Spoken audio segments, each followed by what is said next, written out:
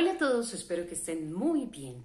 Hoy les voy a leer un cuento que se llama El niño más bueno del mundo y su gato estropajo.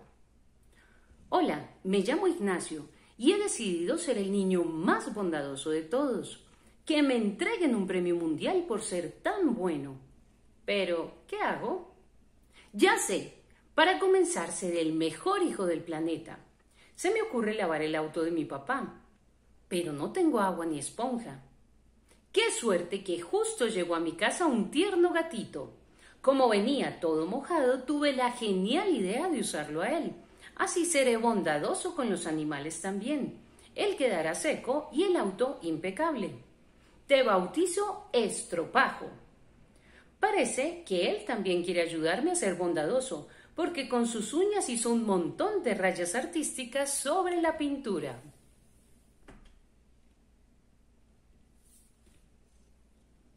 Lo único malo es que estropajo no quedó totalmente seco.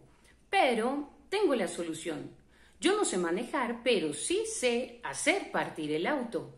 Con la calefacción a máxima potencia podré secarlo.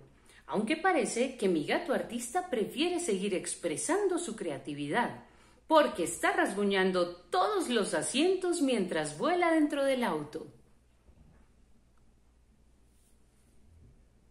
Lo malo ahora es que los chorros de pipí que lanza son muy hediondos, así que abrí todas las ventanas.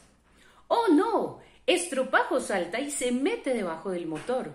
Yo quiero que se seque, pero no que se queme. Por suerte, la bocina suena muy fuerte. Cuando al fin salió, caminaba muy mareado. Y con razón, está todo el aire con humo. Nos vamos a intoxicar. Tengo que salvar nuestras vidas. Puse estropajo como tapón en el tubo de escape, pero no alcancé a apagar el auto cuando el motor hizo explosión y el techo salió volando.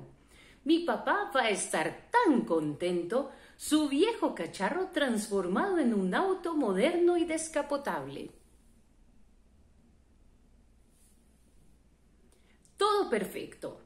Ahora a descubrir hacia dónde salió disparado estropajo y después tengo que hacer algo igual de bondadoso para mi mamá. Pero ese es otro cuento. Y colorín colorado, este cuento se ha terminado.